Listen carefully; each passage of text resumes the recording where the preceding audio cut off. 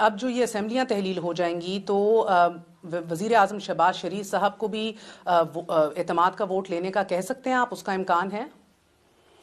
बिल्कुल शहबाज शरीफ को हम पूरी तरह टेस्ट करेंगे। उसने हमें टेस्ट किया यहाँ अब उसकी बारी आ गई है इम्तहान की तो बिल्कुल करेंगे। और वो कब तक करेंगे? वो हमारी आ, कल मीटिंग है और कल मीटिंग में हम फैसला कर लेंगे। कि कब उनसे का वोट लेना है जी उसकी पूरी प्लानिंग करेंगे सिर्फ़। एतमाद का वोट नहीं हम हमारे और भी प्लान्स हैं कि इनको ज़रा पहली दफ़ा इम्तिहान में डालें। जिस तरह आपने कहा कि अब वोट ऑफ़ कॉन्फिडेंस लेने का शहबाज शरीफ साहब को कहा जा सकता है और हर दो सूरतों में अगर वो जीत गए तो then you're stuck of course उनका ही फैसला है, वो जब तहलील करें बट अगर वो हार गए and you do your homework किसी इतिहादी को मिला लेते हैं, कुछ कर लेते हैं, फारूक सतार साहब का मूड भी हो रहा है आजकल, मगर इफ़ यू डू विन तो आपकी पार्लियामानी लीडर अब शाह महमूद कुरैशी हैं, आप नहीं हैं, राजा रियाज अपोजिशन लीडर हैं।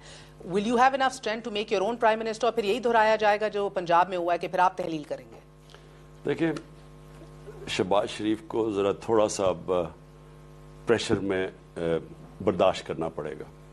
और वो मैं अपनी पूरी मूव्स अभी नहीं बता सकता आपको क्योंकि मैं पूरा प्लान कर रहा हूँ कि थोड़ा सा ज़रा ना उनकी आ, स्लीपिंग पिल लेके रात को सोना पड़ेगा उनको जो मैं करने जा रहा हूँ। That's it?